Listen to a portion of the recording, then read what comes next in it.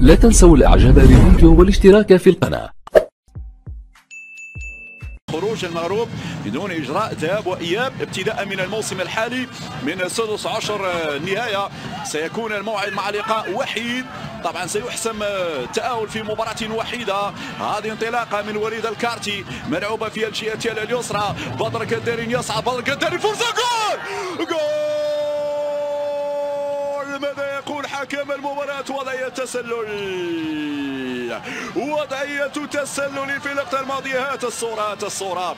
هات الصورة. أعطينا الإعادة لنتأكد إن كان هناك وضعية تسلل في اللقطة الماضية الإعادة مجددا. بدر كان في وضعية سليمة. هنا نعم نعم نعم. الحسوني الحس تمشي الكرة في وسط الميدان. الأصباحي مرر على الجهة اليمنى.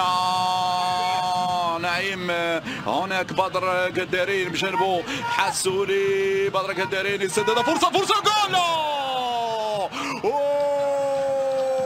يا تيغزاوي القائم يحرمك من الأهداف يا أمين تيغزاوي نعم. أخطر كرة وداريه بعد الأولى. اللي تم احتساب فيها التسلل لايمن الحسوني. ولكن هذه الصورة هذه الصورة. أوه! لم يكن محظوظ. التيغزاوي لم يكن محظوظ تماما في هذه الكرة التي لمست القائم. هي إشارة ربما على أن الوداد سيرفع من نسقه نسبيا وسيحاول خطف الانتصار في الدقائق المتبقية. لأنه نلعب على 20 دقيقة. المتبقية على نهاية المواجهة والتعادل السلبي لا زال قائما.